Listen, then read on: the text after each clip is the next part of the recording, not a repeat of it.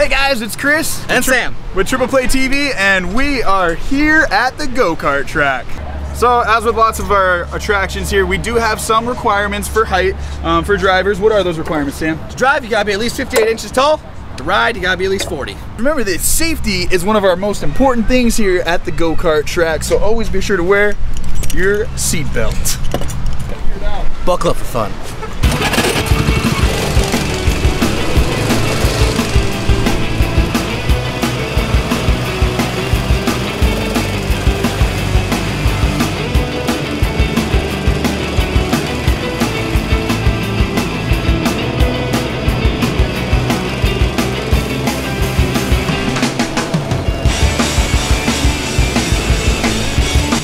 Remember, you're not first, you're last.